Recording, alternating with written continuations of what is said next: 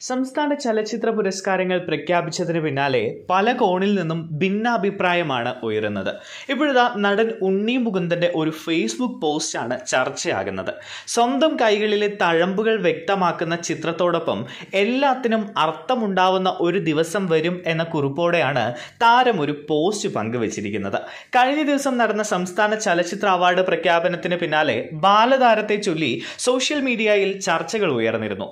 മാളികപ്പുറം എന്ന ചിത്രത്തിനും മാളികപ്പുറം സിനിമയിലെ കല്ലു എന്ന കഥാപാത്രത്തിലൂടെ ശ്രദ്ധേയമായ ബാലതാരം ദേവനന്ദിക്ക് പുരസ്കാരം ലഭിക്കാത്തതും ഏറെ വിമർശനങ്ങളിലേക്ക് വഴിവെക്കുകയും ചെയ്തിരുന്നു. സോഷ്യൽ മീഡിയയിൽ വിമർശനങ്ങൾ ഉയർന്നതോടെ പ്രതികരണവുമായി ദേവനന്ദയും ചിത്രത്തിന്റെ സംവിധായകൻ അഭിലാഷ് പിള്ളയും രംഗത്തെത്തുകയും ചെയ്തിരുന്നു. അർഹതയുള്ളവർക്ക് തന്നെയാണ് അവാർഡ് ലഭിച്ചിരിക്കുന്നത്. ദയവ് ചെയ്ത് അനാവശ്യ വിവാദങ്ങളിലേക്ക് ആ കുട്ടികളെയും മാളികപ്പുറം സിനിമയെയും വലിച്ചിഴക്കല്ലേ? ബാലതാരത്തിനുള്ള അവാർഡ് നേടിയ തന്മയയുടെ പ്രകടനവും മികച്ചതാണ്. ദയവ് ചെയ്ത് ആ കുട്ടിയുടെ സന്തോഷത്തെ ഇല്ലാതാക്കരുത് എന്നായിരുന്നു അഭിലാഷ് പിള്ളയുടെ കുറിപ്പ്. News desk India today.